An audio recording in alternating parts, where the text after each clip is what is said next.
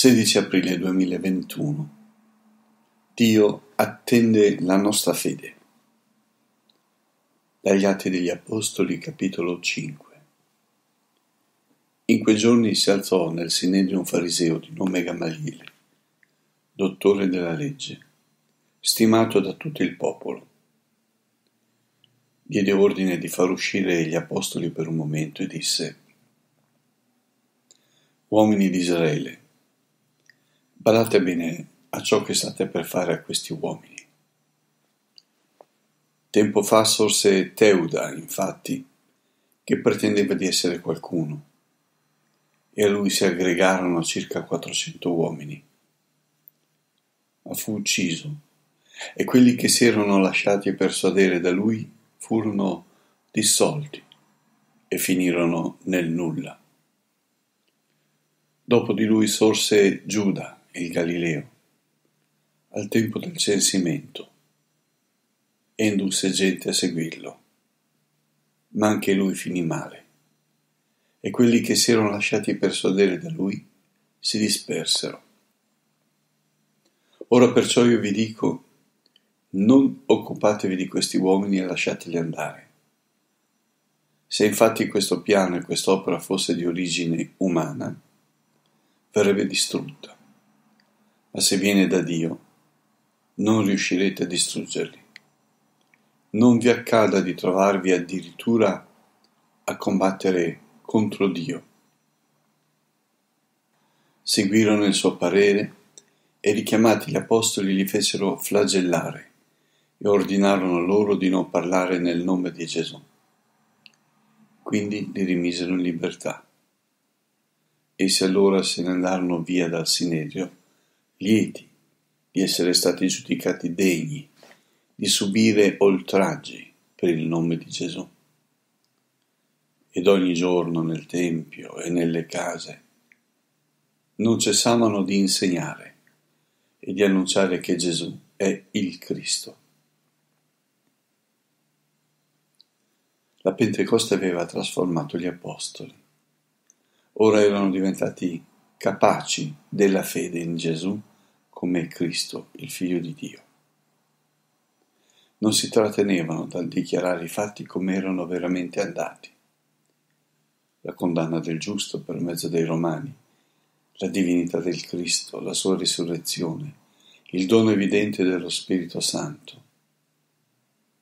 La loro forza era vittoriosa, nonostante i flagelli e la prigione. Migliaia di persone si univano velocemente a loro il Sinedrio era rimasto senza altri mezzi se non quelli della repressione dura.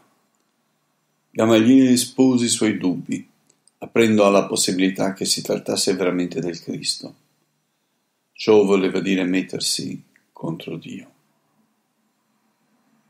La persecuzione fu prima dall'interno, poiché le autorità che condannarono il Cristo continuarono con i suoi fedeli dopo la resurrezione.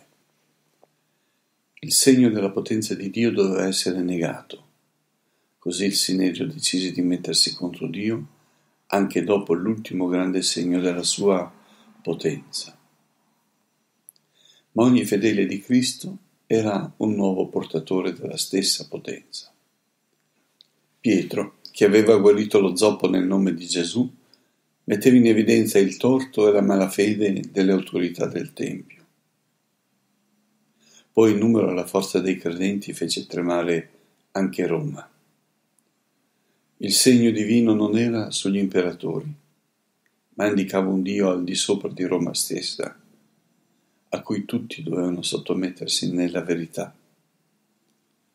Il fondamento sacrale di Roma a cui era legato la sua potenza militare ed economica, era messo in dubbio dai cristiani, che rispettavano l'imperatore e lo servivano, ma non l'adoravano come un dio. Altri valori ed altre le leggi, quelle eterne di Dio, erano superiori a quelle di Roma, pur raffinate e solide. Il fondamento delle cose di ogni potere è da Dio e gli uomini non potevano sostituirlo con il proprio. La forza dei cristiani stava nella verità di Dio e nel seguirla sempre anche quando le leggi di una nazione le contraddicevano. Il fermento cristiano fece cadere istituzioni consolidate e fondamenti economici come la schiavitù, testimoniando l'amore di Dio.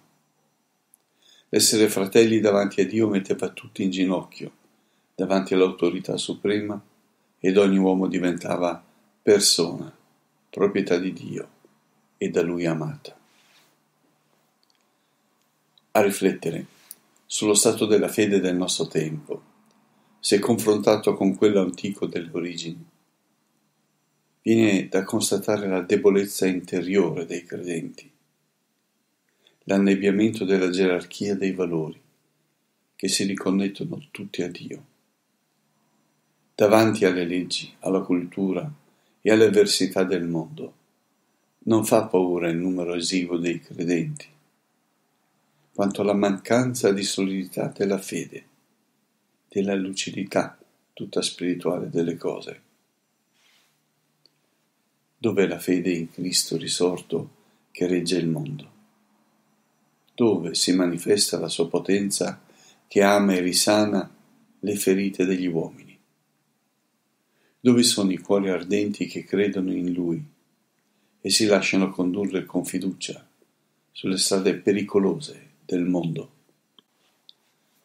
Domina la paura per il potere del mondo, per le minacce dei disastri naturali e per quelli provocati dagli uomini. Sembra che i fedeli siano rimasti orfani non solo del Cristo crocifisso, ma anche del suo spirito paraclito. Non sono le chiese vuote a lasciare sgomenti, ma i cuori senza spirito di Dio. Non è il numero ridotto dei credenti, ma la debolezza della fede a fare intristire. Le grazie del Signore attendono di riversarsi su quelli che credono, per manifestare al mondo l'amore di Dio con tutta la sua potenza.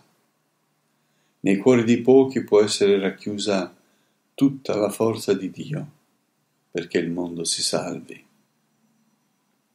Dio attende la nostra fede. Dio vi benedica.